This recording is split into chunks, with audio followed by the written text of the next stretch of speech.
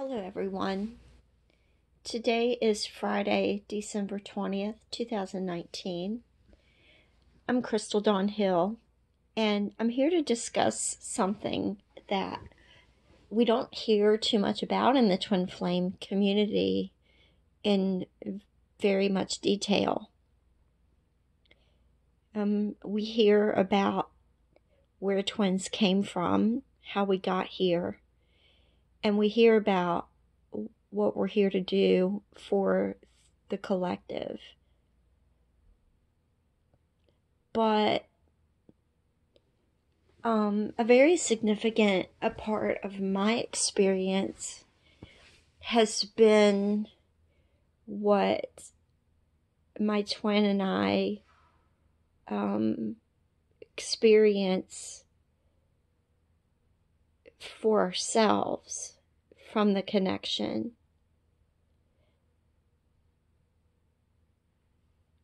Yes, we do hear that a big part of the purpose of the twin flame dynamic is for personal healing. And it's very true. But we don't hear what that entails, at least not that I've ever come across. When I first encountered my twin, the bliss and the euphoria and the magic was beyond words. And I noticed right away that I had I was experiencing phenomena and that I, that I had never experienced before. And I was um, noticing that I had gifts and abilities that were brand new.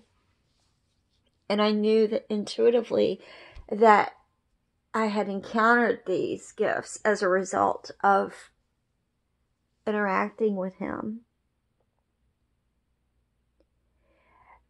But shortly thereafter, I noticed that there was also a lot of healing taking place within me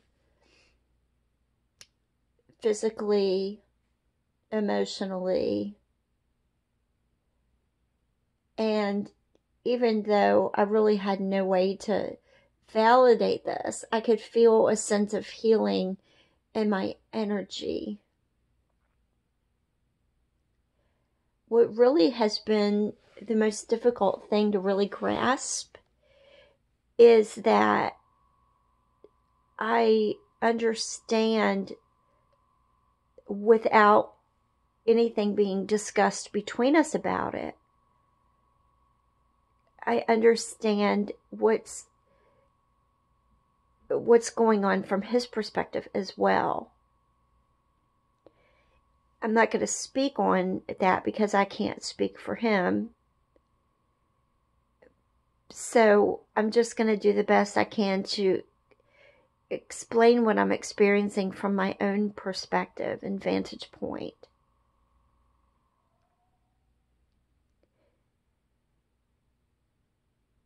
When I say that somehow I experienced a healing energetically, it's very hard to to have that validation within my own mind because I can't identify what's better. I can't say that my elbow feels better or my knee feels better or my neck feels better. I can't pinpoint what it is. I just know that it is. I feel it in my perspective of circumstances, from my demeanor, from my attitude, from my understanding, my level of understanding of things. I, I just feel more wholesome and like there's more substance within me. And over the past few days, for the first time really since we connected externally, um, I, I really haven't felt him so much. And for the past couple of days, I really haven't even f- focused on the connection really at all. Just, I've just been just going about my regular day. Um, because typically I, I stay immersed in the energy, in the twin energy. And yesterday I had something really interesting happen and it made me reevaluate what this journey is about. It's like what makes us a twin. And for the first time, I really not only saw myself through another person's eyes, but I felt it and I got that validation of who I am. I was seen in a way that's favorable to me and that's complimentary to me by someone who's a dear friend who has been a very special person um, in my life and in my heart without my even knowing it until recently. And it made me really reflect on who I am and who I know myself to be. And so while everything that goes on in the twin dynamic, there's always the dichotomy, isn't there? It's never either or, it's always both. It's always all inclusive and all encompassing.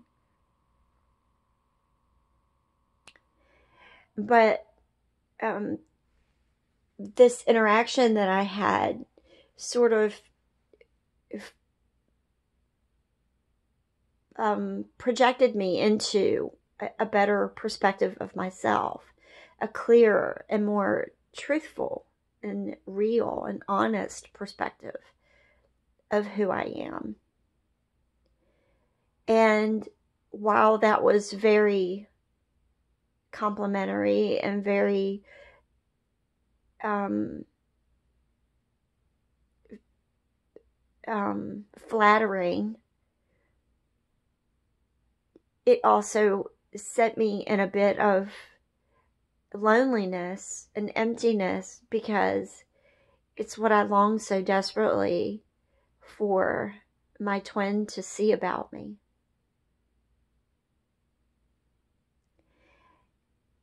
And so, going back to what I was saying about the twin dynamic healing us energetically,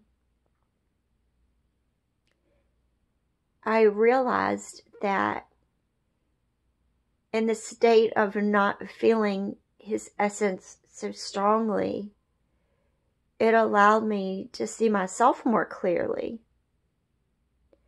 allowed me the space to really get to know a part of myself that I abandoned many, many years ago in favor of other people's perspective of me. I sort of abandoned my own perspective of me and the core essence of who I am and who I know myself to be. And so I owe that dear friend a, very great debt of gratitude. And I also owe God and my twin a great debt of, of gratitude as well for having afforded me the space to allow myself to remember that part of who I am, my core essence. So, what inspired me to put this message out right in the moment that it's unfolding is that I felt out of the blue in an instant his energy and his essence and his consciousness emerge in one moment, in one instantaneous moment. And it was much more poignant and vibrant and palpable than I've ever felt it before. Sharper and clearer and more precise. And it was that feeling and that sensation because I did feel it viscerally in my in my own etheric body and in my own consciousness that it was almost protruding in, into mine like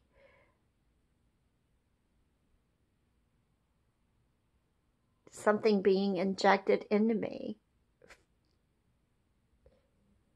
And I knew in that moment that I had to capture this the essence of what I'm what I'm experiencing as it unfolds.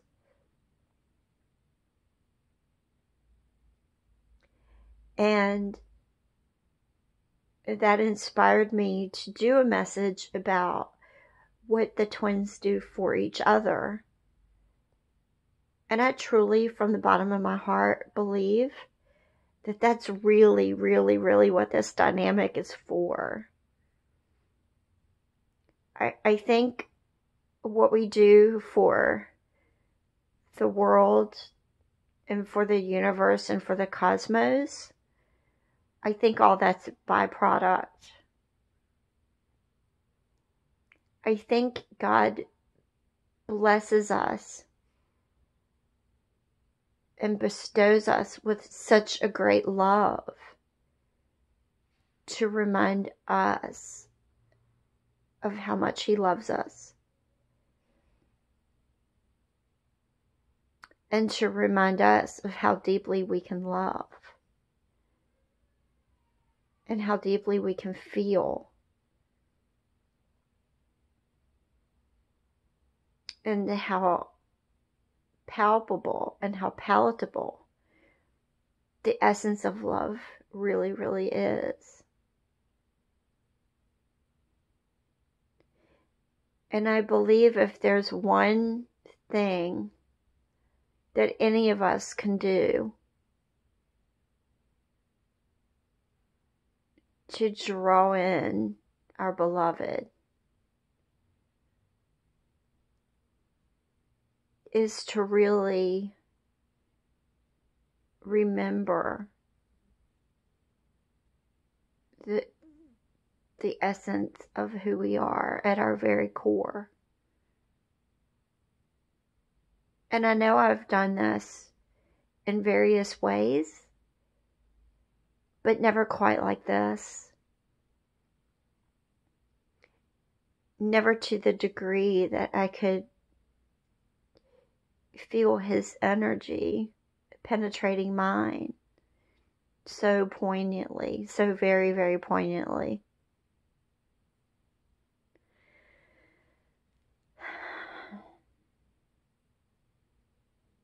There's so much about our dynamic and our interaction and our experience that I yearn to share.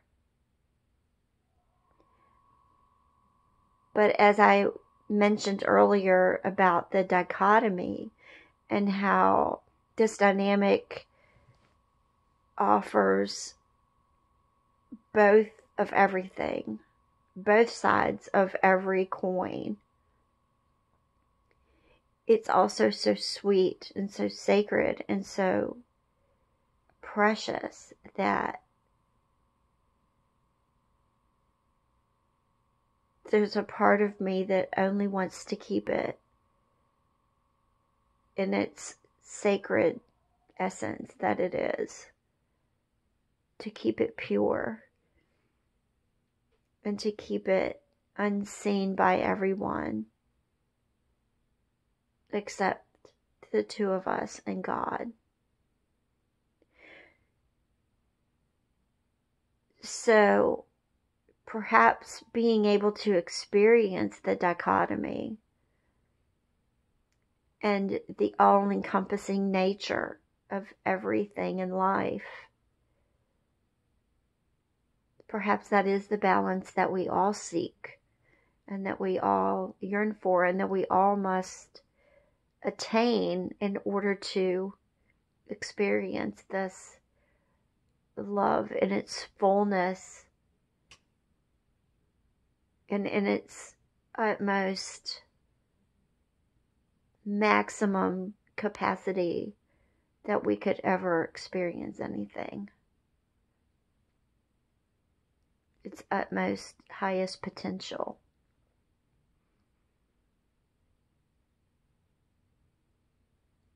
I truly do believe that when I say all encompassing, that it really is all encompassing. It's there's nothing at all that we could imagine that it could ever exclude.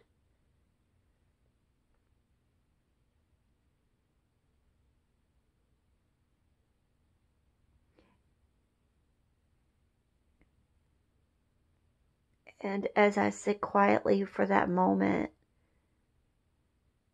really feeling that truth, I felt a rush of invigorating energy rush through me.